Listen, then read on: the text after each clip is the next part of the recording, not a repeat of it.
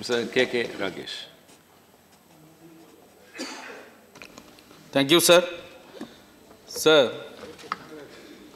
I don't think that uh, a cosmetic change in the Act in the form of some am- amend- amendments can resolve the issue that uh, needs to be addressed today.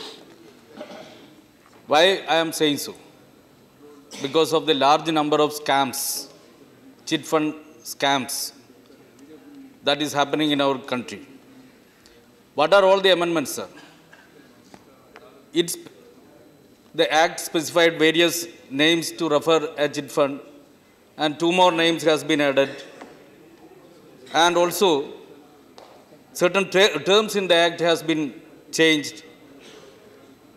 Yes, subscribers are allowed to be present during the time of auction through video conferencing. Foreman's commission has been increased from 5% to 7% and aggregate amo- amount of the chit also increased. These are all the amendments. We are doing some cosmetic changes and we are saying that we are doing something big to address the real issue. Sir, if you are serious, I am requesting the Honorable Minister to ensure a deposit insurance scheme to protect the subscribers, the customers because it should be made mandatory for all the private companies. As we all know, three types of chit companies are the chit entities are there in our country. One is basically run by the uh, by various state governments or maybe uh, through the, some cooperative institutions, etc. The second one is the registered private chit companies. And third one is unregulated chit, uh, chit uh, entities, mainly closed group associations.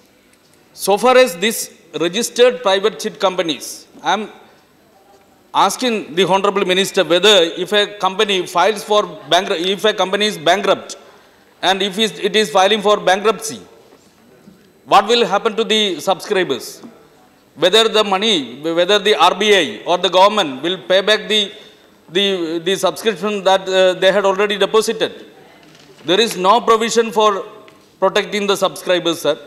So I am requesting the government to bring an amendment in the, in the act to ensure a deposit insurance uh, of, of the chit fund for, for, for the subscribers of the chit. I think that is very, very important. And secondly, sir, what about the online chits? Nowadays, uh, online chits are very, very common and very popular, and they are allowed to conduct online uh, auctions. They, uh, uh, the sub, are allowed to uh, pay monthly dues online, and uh, they can receive price amount online. There is no mention of online chits. It is already there, but you are talking about video conferencing, but at the same time, there is no mentioning of online chit. That, that is also very important issue. And thirdly, sir, non-transparency is also an issue. So that non-transparency so far as the, the, chit uh, transactions, that also has to be addressed. And sir, yes, we had now enacted a legislation to ban unregulated deposit schemes. Thank you. Why, one minute, sir.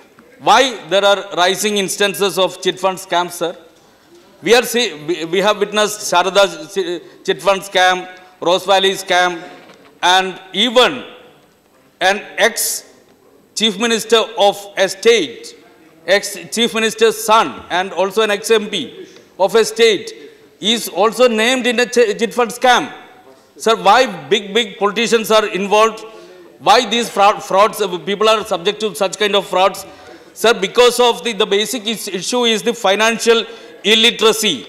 When these companies are promising with huge returns on deposit, poor pe- people, poor uh, account holders, poor uh, people are subject to the victims of such fraud. So I, I think, sir, it is extremely important to ensure a fi- financial literacy and there should be a scheme for financial literacy also, sir. Thank you, Yes, of course, it is a popular uh, type of saving institution in our country. It provides access to savings to uh, savings and Yeah, borrowings to the poor.